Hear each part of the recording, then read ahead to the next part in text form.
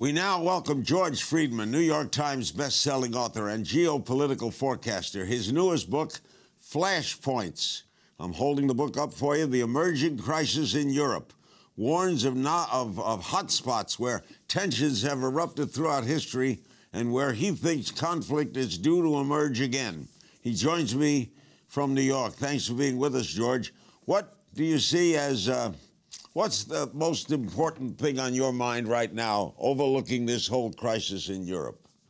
What worries you the most? Well, what worries me the most is Germany. Germany exports 50% of its GDP.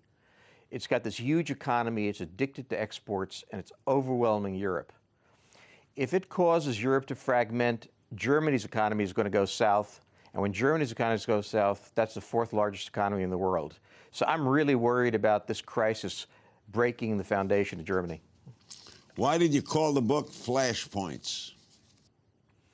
Because in the history of Europe, there have been areas that have always been flashpoints for war. The Ukraine is one, uh, the uh, Turkish border is one, the Mediterranean is another, the English Channel. What I'm saying is that nationalism is returning to Europe, and as nationalism returns to Europe, these flashpoints will become active again. We've already seen it in Ukraine. The jihadist attacks in France and the like, where is that going? Well, I mean, that's not going to take down any governments. It's just a danger. But what it's going to do is cause European governments to try to get control of their borders. Uh, they want to know who's coming in, who's going out. They don't like this Schengen business.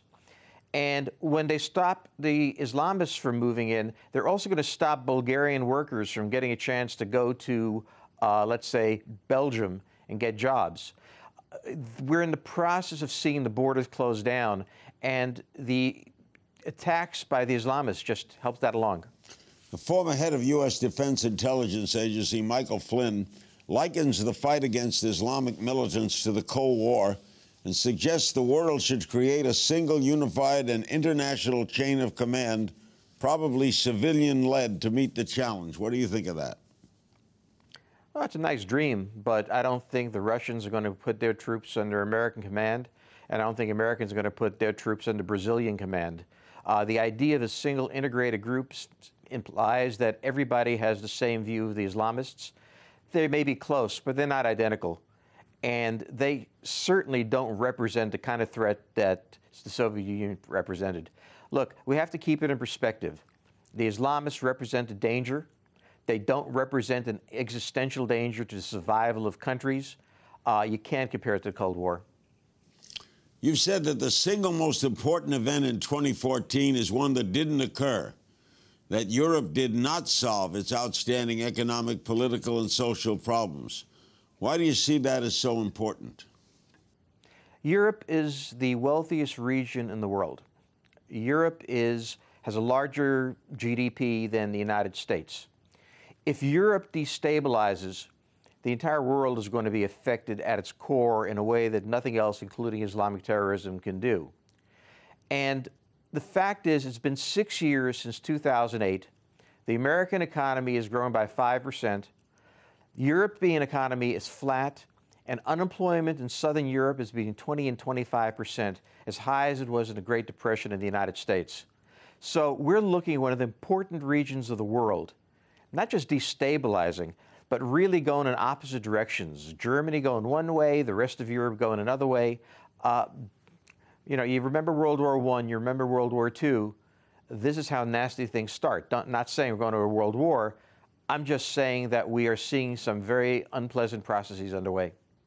This is a very important book, and in the book, you state that expectations upon which the European Union were founded were unreasonable. And you describe the Union as crumbling. Do you believe it can mm-hmm. survive? I don't think it can survive in its present form. Uh, you know, when you have one part of Europe with 25% unemployment, one part of Europe with 5% unemployment, there's no single policy that can solve this problem. And I don't think Southern Europe is going to be able to pay off its debts no matter what. So the real question here is not whether the euro survives, it's whether the free trade zone survives. That was the beginning of the European Union. That is the heart of the European Union. And I don't see how a free zone, trade zone, with one country, the fourth largest economy, exporting 50% of its uh, economy to the rest of uh, the region, how that can survive. Imagine if the U.S. exported 50% of its economy, of its GDP, a good part of it to uh, Canada, a good part of it to Mexico. How could that union survive? There's an irrationality in the European Union, and I don't think it's manageable. If the right wing rises in Europe and we might see a trend toward fascism, do you see the, any thoughts of a World War III? I don't, I don't believe there'll be a World War III on the order of anything we've seen before. But look, we're already seeing a confrontation between the United States, Europe on the one side, and the Russians on the other side. I mean, it's not as if Europe has ha- not had significant wars. 100,000 people died in Yugoslavia uh, in the 1990s while Euro- the rest of Europe was quiet. Europe historically is a violent place. Over the past 20 years, it's been relatively quiet uh, on its own, but it has not been completely quiet. And now we're seeing those strains reemerge again. We talk about flashpoints. Well, there is no greater flashpoint than the one between Europe and Russia and Ukraine. And what about Russia in all of this in 2015? Do they they're having economic problems of their own? What happens there? Well, remember, Russia's always had economic problems, and they've been able to defeat the Wehrmacht, Napoleon. The Russians don't respond to economic problems the way Americans do. It doesn't define how they behave, or, in fact, when they get into economic problems, they become more aggressive. And so, certainly, Russia has economic problems. I was recently visiting there, and what is basically told was look, we've always had economic problems. It's good times that are rare. So the good times are ending, but we're not going to give up our national interest over that. In an interview right about this time last year, you said the United States is clearly going to be the leading economic power 25 years down the road. Do you share that view now? Yeah, absolutely. Last quarter, the American economy year on year grew by 5%. At the same time, the Chinese are declining their growth rate ra- radically, and the Europeans are not growing at all. Much of it is, is declining. So it's very clear to me that the United States, because it doesn't export huge amounts of money of goods, U.S. exports only about 9% of its GDP compared to 50% for the Germans. That means that it doesn't really depend on the rest of the world. And now that it has relative economic, um, energy independence, um, it seems to me that the United States is even stronger than I thought it would be. In a commentary you wrote shortly after the uh, elections two years ago, you described Barack Obama's presidency as ending in a state of failure. Have you changed your mind a little on that?